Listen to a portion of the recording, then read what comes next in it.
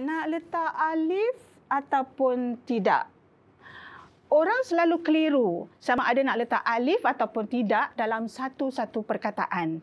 Biasanya, orang akan gunakan strategi padanan huruf rumi dengan jawi. Contohnya, kalau kita nak mengeja perkataan baca, B-A-C-A. B dipadankan dengan huruf ba, A dengan huruf alif, C dengan huruf ca, A dengan huruf alif. Jadi nak eja perkataan baca, ba alif, ca alif.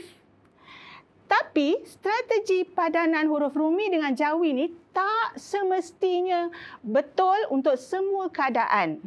Kenapa?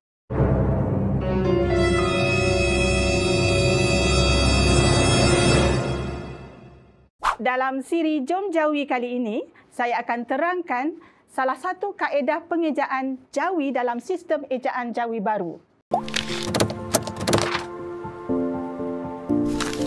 Ini dia pantun rakyat yang biasa kita dengar, Pulau Pandan jauh ke tengah yang telah saya jawikan. Dan saya telah buat dengan ber, dengan sengaja beberapa kesilapan ejaan. Perhatikan perkataan yang telah saya merahkan. Setiap perkataan ini ada dua suku kata. Pandan, tengah, cabang, hancur, badan, dan kenang. Dan kalau kita zoomkan lagi kepada suku kata yang saya nak fokuskan iaitu dan, ngah, bang, han, dan, dan nang. Suku-suku kata ini ialah suku kata tertutup dengan alif. Maksudnya, dia ada tiga huruf dan di tengah-tengahnya ada huruf alif apa yang kita nak tahu sekarang ialah bagaimana kaedah pengejaan jawi untuk suku kata tertutup dengan alif. Jom kita lihat. Ini ialah dari buku Bacalah Jawi, jilid 2, muka surat 50. Ini ialah kaedah pengejaan uh, jawi untuk suku kata tertutup dengan alif, ya dan waw. Tak ada masalah dengan huruf ya dan waw suku kata terbuka ya dan waw tapi mari kita perhatikan yang suku kata tertutup dengan alif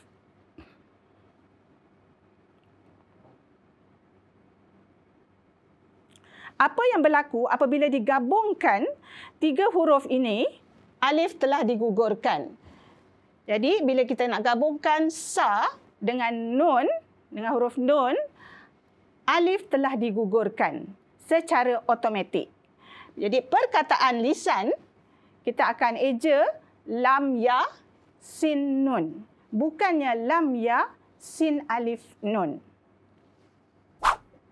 Jadi inilah dia pantun Pulau Pandan jauh ke tengah yang telah dibetulkan ejaannya. Tapi persoalannya, bagaimana pula dengan ejaan kandung? Kenapa ejaan kandung tu betul walaupun ada alif di tengah-tengah kan? Dan bagaimana pula dengan ejaan pulau? Kalau nak tahu, ikuti siri Jom Jawi seterusnya. Tapi buat kali ini, ingat kalau nak mengeja suku kata tertutup dengan alif, jangan tambah alif.